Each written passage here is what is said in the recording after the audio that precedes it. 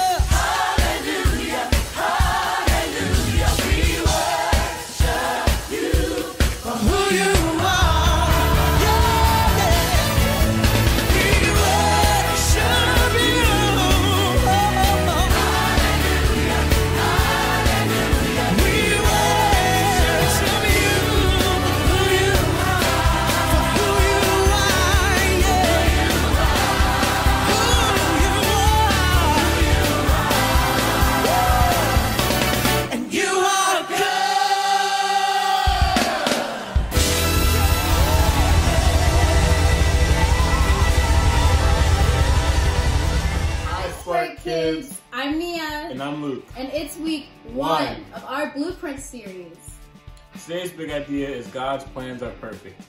Today we're going to learn about a story about how Jesus went to Jerusalem to the temple for a celebration. It was like a party. This party was where they observed Jewish traditions with loved ones. When Jesus came to the temple, he saw people exchanging money and doing very bad things. Jesus got angry and started flipping over tables.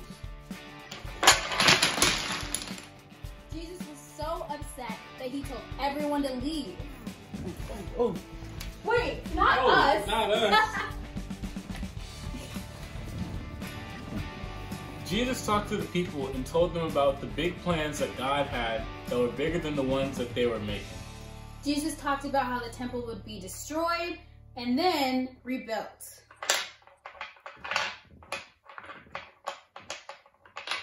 Hi chicken nuggets. It's me, Carl. And I'm Andy, and welcome to Grow TV. Hi, welcome. Welcome to Grow TV. Hosted by Carl. Where we have fun with our friends, talk about Jesus, and go over everything the Bible has to offer. Now, once again, welcome to Grow TV.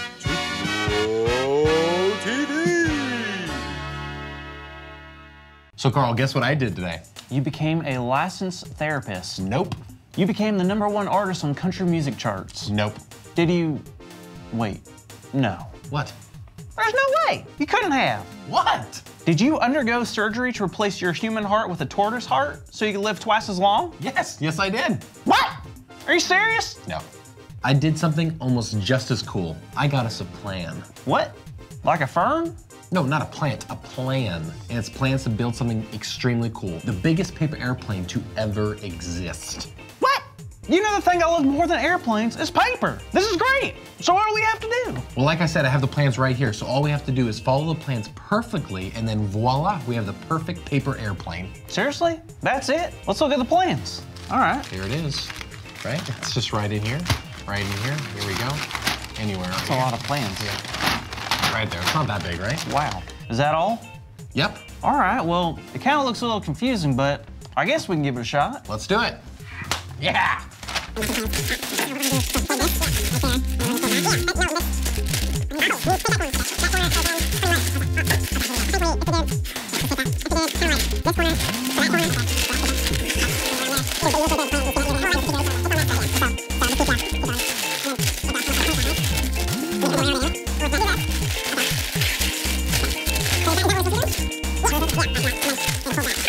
right, I'm gonna say it. This is kind of weird paper airplane. Now I'm gonna. I'm. I don't think this is what it's supposed to look I like. I know that, Andy. Maybe we should try it again. There's no point. This plane is junk. Why can't my life be more like Jesus? What do you mean by that? Well, Jesus never had planes fall through like this. Well, that's not true. Do you remember the story about Jesus getting angry in the temple? It sounds familiar. What happened? Well, Jesus was going to Jerusalem to go to the temple, and he found out people weren't sticking to the plan. Wait, whose plan? God's. Oh, what were they doing? Oh, where they were exchanging money and they were selling animals. Well, was that bad? Well, not technically, but they were doing it in the temple, which means they should have been celebrating the Passover instead. All right, hold on. You lost me. Passover? It was a time where all the Jewish people would come together in the temple and they would celebrate the time and remember the time that God delivered all the Israelites out of Egypt. Oh, got it. So them selling and exchanging things on the Passover wasn't part of the plan or God's plan. Exactly. And when Jesus got really upset, he started to turn over the tables and tell everyone to leave.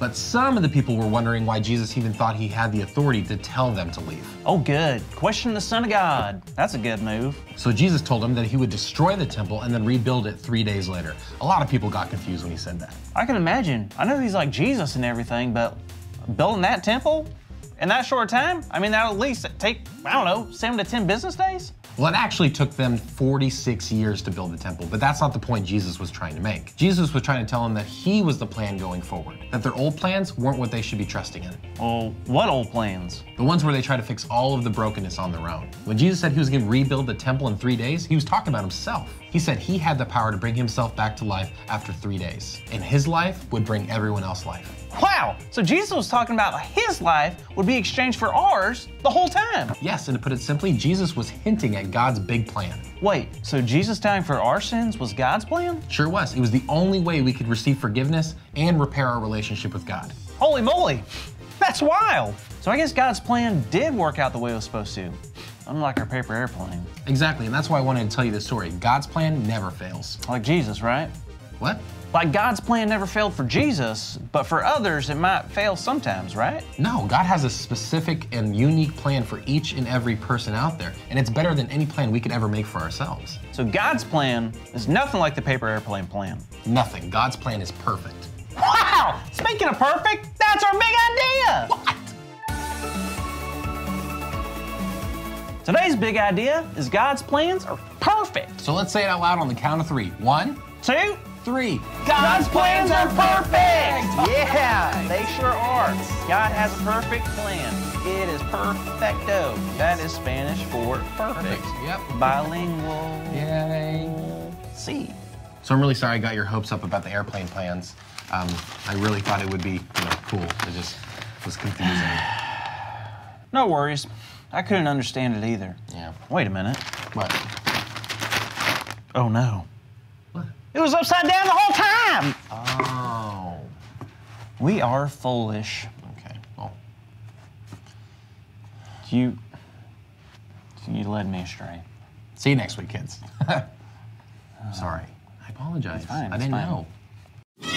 Thank you for watching and tune in next week for a new episode of TV. Oh, hi Spark Kids. Welcome back. Awesome to learn about Jesus, isn't it?